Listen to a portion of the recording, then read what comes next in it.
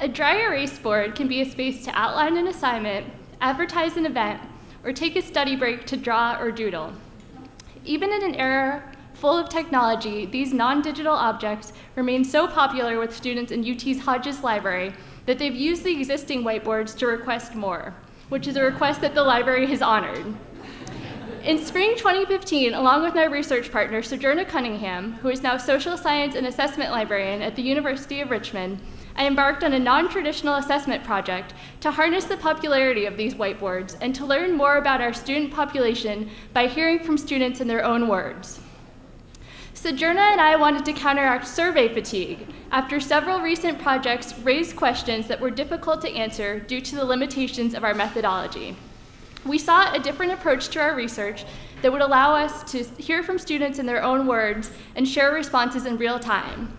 We were particularly interested in students' use of library space and how students create informal learning communities in these spaces.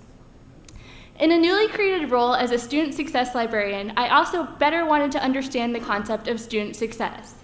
My role had familiarized me with campus conversations regarding retention and graduation, but I was curious about students' own perspectives and how they could add to the university's dialogue.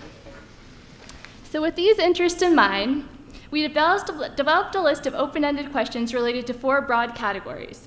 We purposefully did not include a library-specific category, and in fact, 20 of our 30 final question prompts did not include the word library at all. We sought to make our project participatory on multiple levels. After we developed our initial list of questions, we invited input from others across the library, including faculty and staff who work with students in varied capacities. Their input informed both our whiteboard content and our wording, as well as our locations. The three whiteboard locations we selected in Hodges Library were a quiet study floor, the studio, which is a collaborative learning space in the Commons, and a main entranceway outside of the ever popular Starbucks and our circulation desk. For 30 consecutive days, we wrote a question, kept it up for 24 hours, and then photographed and erased it. In spring 2016, we launched a second iteration. We added the University of Richmond's Boatwright Memorial Library as a second study site, moved one Hodges board to better align with Richmond's library spaces, and posted, white, posted questions once weekly for eight weeks, rather than daily to avoid whiteboard fatigue for our students and ourselves. From these two study periods, we collected more than 2,100 responses, which included text, symbols, emojis, and doodles. And then came the fun of transcription and coding. Student assistants conducted a first round of each to help mitigate our closeness to the project. To code our 2,100 responses, we developed a homegrown system of 20 categories listed here. And while I could talk about what interests me from our findings for the rest of the night, in the interest of time, I'd like to in instead share just a few things we found notable related to spaces, learning communities, student success, and campus culture. First, spaces. We had anticipated that the board outside of Starbucks would be the least used because it was in the most public and transitional space. Instead, it was by far the most popular. It had, 20, it had 66% of responses in 2015 and 72% in 2016. At one point, students even stopped me as I was writing on the board so that they could continue to read the day's responses. This finding led us to consider the impact of placement. We wondered whether students saw this board as different from other library spaces and thus responded differently. And we're curious about other opportunities to better utilize transitional spaces like it to conduct research and to kindle conversation.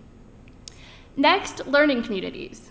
More than 10% of our responses were a response to another response and not the original question. Students offered agreement in the form of likes, retweet, and times two messages. They also offered advice, suggesting the value of peer-to-peer -peer forums where students can share recommendations. Overall, questions with the highest response rates were those that put students first and invited their authority and personality. Wording mattered. For instance, asking students about how the library versus librarians could help them succeed elicited different numbers and types of responses, perhaps because students could better relate to the library than librarians. Regarding student success, the juxtaposition between positive, self-aware responses and feelings of discouragement and stress st stood out. The number of references to the drug Adderall particularly struck us. This again suggests the value of forums where students can share their feelings and learn that they're not alone. The range of our responses also stood out. Some students shared their cell phone numbers and invited new social media followers, others championed privacy. Some responses were whimsical or sarcastic, but even from these we often learned. The suggestion of a commuter student hotel in Hodges Library, for instance, reminded us of a specific and growing population we may not have seen in a survey. And these responses illustrate the value of cross-campus dialogue.